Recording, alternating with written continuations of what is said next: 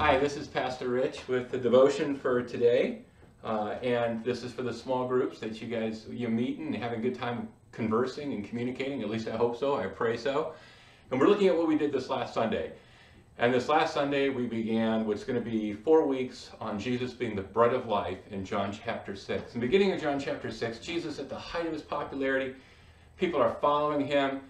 They're excited about him. They're excited about having the bread of 5,000 people being fed, 5,000 men plus women and children. And they're following Jesus, but they're following him probably for all the wrong reasons.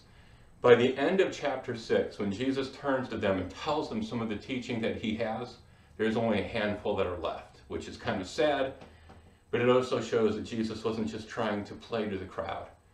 He was trying to make disciples. And, and we see uh, our passage starting in John 6, 22 to 25, and this, this crowd searching for Jesus. And searching for Jesus sounds great. I mean, who, who wouldn't think that was a good thing? That someone says they're searching for Jesus, they're trying to find out more about Jesus, whatever it might be, we would say that's great. And it is. But as we see today, the why does matter. So in John 6, 22 to 25, it says, The next day after he fed the 5,000, the crowd that had stayed on the opposite shore of the lake realized that only one boat had been there and that Jesus had not entered it with his disciples and they had gone away. So they're paying attention to, disciples have gone, they're rowing, they know they're rowing towards Capernaum. Jesus goes away by himself. Then some boats from Tiberias landed near the place where the people had eaten the bread after the Lord had given thanks. So remember there was a storm. A lot of people think the storms blew in the boats. These people now have these boats, say, we're going to get in the boats, we're going to go search for Jesus. Once the crowd realized that neither Jesus nor his disciples were there, they got into the boats, went to Capernaum in search of Jesus. When they found him on the other side of the lake, they asked him, Rabbi, when did you get here? Now the crowd proactively takes steps to follow Jesus. And again, that's great. They search for Jesus and it works. They, they find him and you think that's great too. Uh, but why did they want to find Jesus? Well, Jesus knows why they are searching for him. And to him, the why does matter. And he exposes their wrong motive for seeking him. He looks in their hearts. He said, there's a wrong motive here. I want to correct this motive. And as a result of him doing this, again, by the end of chapter 6, he goes from thousands and thousands of people following him to just a handful accepting what he has to say, which is kind of sad.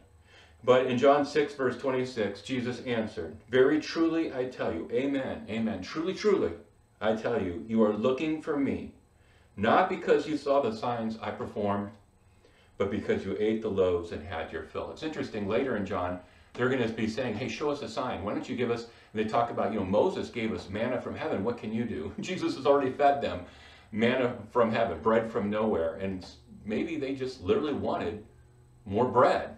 Uh, they wanted him to produce something for them. But Jesus confronts them with, with the, their wrong motives because they had missed the point of the miracle. It wasn't free food. The point of the miracle was Jesus, and it pointed to Jesus, not just what he could provide, it, provi- it, it, it pointed to the provider as well. So the crowd had focused on the material blessing, on what Jesus had given them from a material standpoint. And there are those who come to church or come to Jesus with a preconceived notion of physical blessing and being happy. They think that what they need is what Jesus provides, when what they really need, what we really need, is Jesus himself.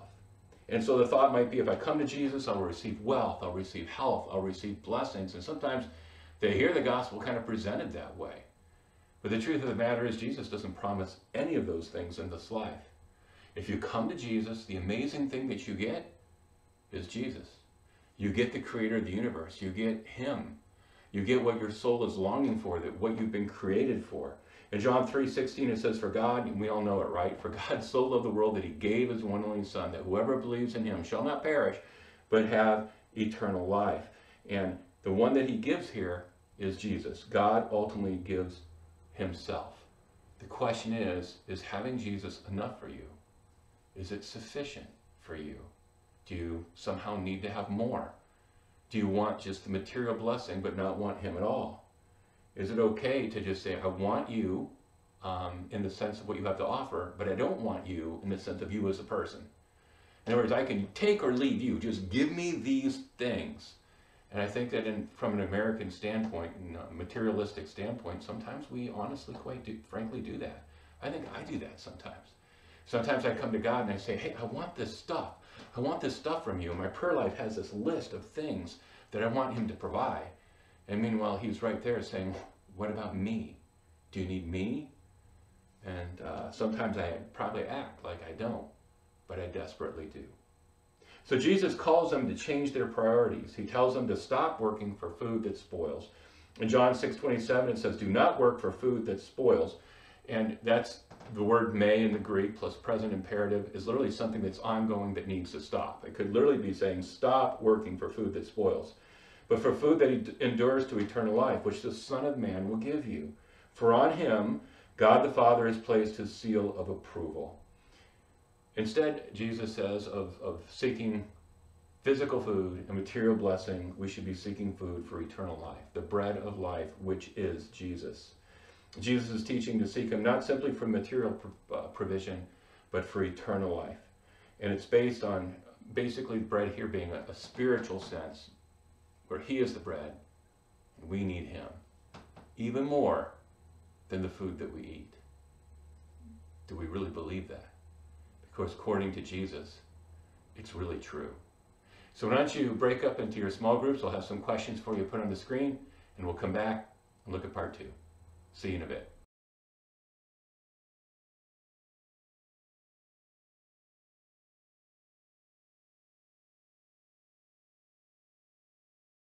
Well, welcome back. We're going to be looking at part two. I hope you had a good conversation and discussion as a group.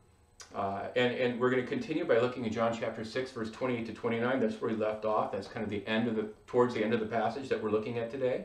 In this, we see that in Jesus, the work that we need to do is done. In John 6, 28 to 29, it says, Then they asked Jesus, What must we do to do the works, plural, God requires? Jesus answered, The work, singular, of God is this, to believe in the one he has sent. So the Jews hear Jesus speaking of working for spiritual food, right? He says, don't work for, for physical food, work for spiritual food that is eternal and lasts forever. So they say, okay, what are the works that we need to do to receive that? And Jesus points that points out that it's not the work that you do, it's the work that he does. It's singular. The work that needs to be done is putting your faith in Jesus, trusting him, believing him, which really ultimately isn't work. It's his work, and it's simply receiving what he has done for us. And faith here is in the present tense. It's a continuous action. It does not just look at the act of faith, but a life of faith.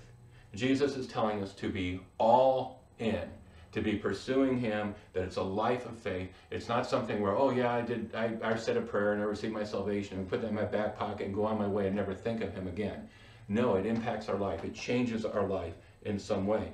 And he's telling us to put all of our eggs in his basket for salvation, to trust him completely.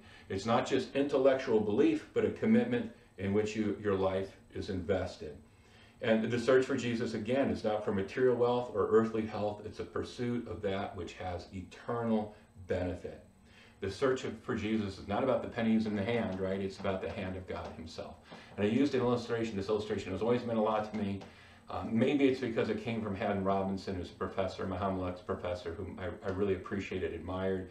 But for whatever reason, it, has always stuck out to me and something that I need, I always felt like I needed to remember. And, and, and his story is, is pretty simple. He, he used to, when he came home from work or from traveling, different trip, whatever he would do, he would come home and he'd take pennies and nickels and dimes, whatever it might be, and they'd put him in, in, in his fist.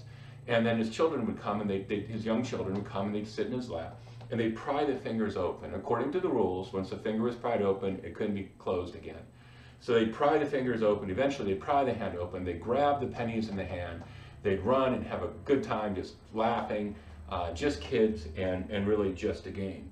But sometimes we do the same thing with God, right? We, we come to God and we're looking for the pennies in the hand. Uh, we might be saying, Lord, I need a loved one to be healed, or I need to be healed, or I, I need a job, or uh, Lord, I need a house to live in. All those things are really important. He wants us to come with those things, and they're certainly okay to request. But we reach for the pennies, and when we receive the things that, that, that we want from Him, we push the hand of God away and we go on our merry way. However, much more important than the pennies in our hand is the hand of God Himself. We need to make sure that our search for Jesus ends with the hand of the Master and not the pennies. So again, I'm going to have you break into groups and have a discussion. And when you're done, of course, you're done. But before you do that, I want to pray for you as you gather together. Um, uh, Father, I want to thank you for the truth that we see in this passage. That we need you. We need we need your son Jesus, like the air that we breathe, like the bread that we eat, like the water that we drink. We need spiritual food. We really need this. And as Americans, Father, at least I feel so often I have so much, I have so many things in the world that I feel like sometimes I don't need those things. When in reality, that is a great need. Even if it's not a felt need, it is a real need. And there's times when I do see it, and, and during those times when I'm fed with the truth of who Jesus is, and I sit at your feet and I seek you out and, and, and just enjoy that time with you, I'm truly filled. I'm truly happy. I'm truly at peace. But Father, too often I neglect that myself to search for things that are the pennies in the hand.